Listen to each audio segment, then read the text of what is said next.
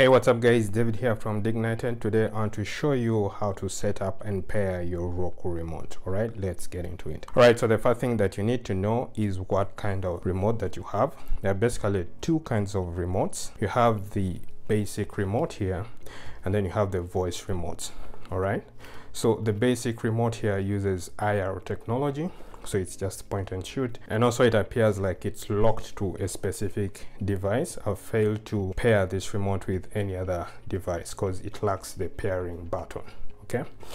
Okay so with the voice remote you have the base version here okay and then the pro version. So the difference between the base version and the pro version is the inclusion of the headphone jack here you can see it here but the base model doesn't have a headphone jack. All right and then you'll also see some personal shortcut buttons here. These are actually programmable whereas the base model does not have these programmable buttons here. And then you also realize that the pro version has a rechargeable battery which you charge via usb micro usb here whereas the, the base model doesn't have a rechargeable battery. It comes with aaa batteries here. So yes you'll have to keep switching these when they run out. And also the location of the pairing button is just right under the battery compartment on the base model. So this is the pairing button right here whereas the pairing button of the pro model is just outside here. So those are key differences to take note between the base model and the pro version of the Roku voice remotes. So this will come in handy when I'm showing you how to set up the remote. So for my setup, I have the Roku Voice Remote Pro and I'm going to set it up with my Roku Streaming Stick Plus. I've been using the Roku mobile app as a virtual remote control for my Roku Streaming Stick Plus. To pair a new remote, you must have at least an existing Roku remote or the Roku app. Alright, so I'm going to press and hold the home button for at least 5 seconds here this should be able to open up the setup menu okay? And then select remote here all right? And then here you can choose what kind of remote that you have based on the placement of the microphone pinhole on your remote. Alternatively to get to this part here you can just go to settings from home and then come to remotes and then you can select add a new remote here right Okay, so moving on, I'm going to select the first option since I have the Roku Voice Remote Pro.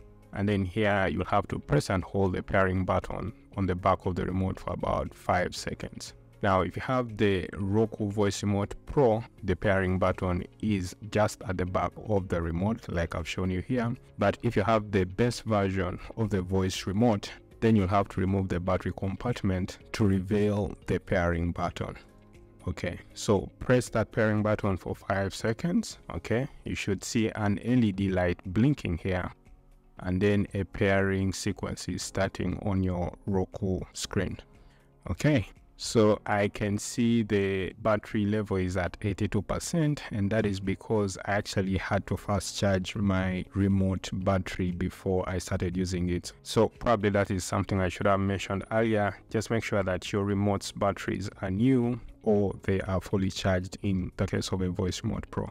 Okay, so the pairing process should take a few seconds here and now we're done. So here you can activate hands-free uh, voice control if you have the pro version here and you can also do some other advanced configurations here. For example, you can set up uh, TV controls that is basically power and volume control of your Roku TV. So since I'm using my ASUS monitor, I'm just going to skip this part real quick.